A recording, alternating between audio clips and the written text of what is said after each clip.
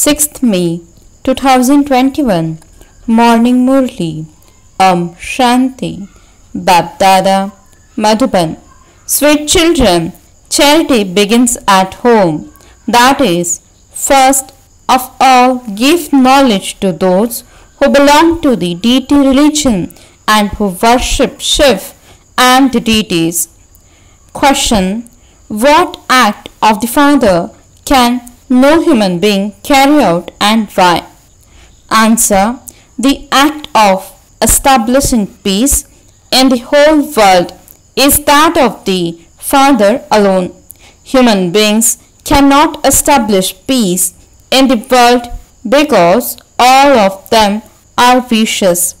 Peace can only be established when they know the Father and became pure.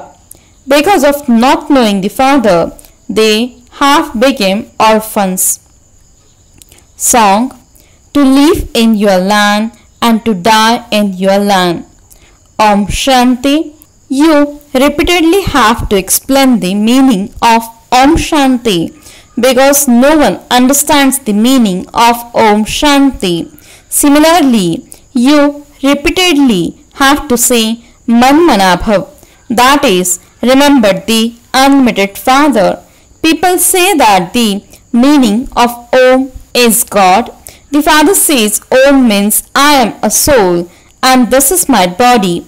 The Supreme Father, the Supreme Soul, also says Om. I too am a soul, the resident of the Supreme Region. You souls enter the cycle of birth and death. I don't. Yes, I certainly come in a corporeal form to explain to you children the essence of the beginning, the middle, and the end of the world. No one else can explain this. If you don't have this faith, then go and wander around the whole world and find out if there is anyone else who can give the knowledge of the self and the beginning, the middle, and the end of the world. No one apart from the Supreme Father, the Supreme Soul, can tell you the secrets of the beginning, the middle, and the end of the world cycle or teach you Raj Yoga. No one else can purify the impure. First of all, make effort to explain to those who are worshippers of the deities. Only those who belong to the original eternal deity religion are the ones who have taken the full 84 births. They are the ones who will be able to understand very well. Those who come later cannot take 84 births. Only those who are worshippers of the deities and those who study the Gita will listen to this knowledge. In the Gita, they have just made the mistake of putting Krishna's name instead of God's. Therefore, you should explain to those who read the Gita. You should ask them what is your connection with the Supreme Father, the Supreme Soul, Shiv. He is called God. Sri Krishna is one with divine virtues. He had a divine kingdom and all the people in that kingdom have divine virtues.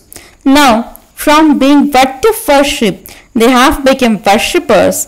Therefore, you should first of all try to uplift those who belong to the original eternal deity religion. Charity begins at home. You also have to explain to the worshippers of Shiv. Shiv definitely does come because they celebrate his birthday. He is the Supreme Father, the Supreme Soul. He must definitely come and teach you Raj Yoga. No human being can teach you this. Neither Krishna nor Brahma can be called God because the bestower of salvation for all is the one Father. Because he is the ocean of knowledge, he is also the teacher of all. No one else knows the history and geography of the beginning, the middle, and the end of the world. The Father says, I am also called the ocean of knowledge, the living seed. This seed would have the knowledge of the beginning, the middle, and the end of the inverted tree. This is why I am called the ocean of knowledge, the almighty authority. What authority does he have? He knows all the Vedas, the scriptures, and the Granth, etc. He explains to you, children, the people who recite the scriptures say that the duration of each cycle is hundreds of thousands of years. But that cannot be so. This is the human world tree of the variety of religions. In the Bhagavad, they have written that its duration is very long. The Bhagavad is not a religious scripture. The Gita was the religious scripture through which the deity religion was established. There is no religion established through the Mahabharata or the Bhagavad. They have just written it as the history of Sri Krishna. The father explains children explain to those of the deity religion that they have taken 84 births. In the golden age, there were just Bharat and no other religion. Only Bharat was heaven. Only Bharat is remembered as the highest on high. It is also the birthplace of Shiv, the Supreme Father, the Supreme Soul, who comes and purifies the impure. Therefore, Shiv is worshipped here and his birthday is also celebrated here. He must surely have come into the impure world. Everyone calls out, Oh, purifier, come. Bharat was pure and its residents then went around the cycle of 84 births. Those who were pure residents of the heaven have now become impure residents of hell. Shiv made them pure and then Ravan made them impure. At this time, it's Ravan's kingdom. Every man and woman has the five vices in them. In the golden age, there were no vices. Everyone was viceless. Now they are all impure, and this is why they call out, Come once again and purify us. In the golden age, we were pure. We were in the kingdom of Ram for 21 births. It is now Ravan's kingdom and everyone is vicious. The father says, Lust is the greatest enemy. It causes sorrow from its beginning through the middle to the end. Now conquer it and become pure. You have been committing sin for birth after birth. You have become the most tamopradhan of all. alloy has been mixed into souls. At first, you were golden age, then you became silver age, then copper, and then iron. While alloy was being mixed into you, you continue to come down the ladder. This only refers to Bharat. You take 8 births in the golden age and then 12 births in the silver age. Those same people of Bharat then became the moon dynasty and then the merchant dynasty. Souls became impure. The father says, I come and make Bharat into heaven every cycle. Then Ravan makes it into hell. This drama is predestined. The father now explains Shiv Baba is the ocean of knowledge. Shiv is the highest on high, the one who is worthy of being worshipped by everyone. He is the one who is worshipped first. He is the unlimited Father you definitely receive the unlimited inheritance from him. The people of Bharat have forgotten that only the incorporeal one is called God. People do remember him. It isn't that all are God. On the one hand, they remember God and then they also defame him. On the one hand, they say that he is omnipresent and then they call out, Oh, purifier, come the Father only comes and explains through the body of Brahma to the Brahmins who are the mouth-born creation of Brahma. You Brahmins are now the top knot. Shiv is about the Brahmins. In the variety form image, they have portrayed deities, warriors, merchants, and Shudras. They do not mention Brahmins at all because they see that those Brahmins are vicious. Therefore, how could they be called those who are more elevated than the deities? The father explains that they even sing salutations to the Brahmins who are to become deities. No one knows accurately when it was their kingdom. Where did heaven come from? You now understand that Baba has come and that he is establishing heaven through Brahma. He inspires the destruction of hell through Shankar. There was also the Mahabharat war through which the gates of heaven were open. They sing this, but they don't understand anything.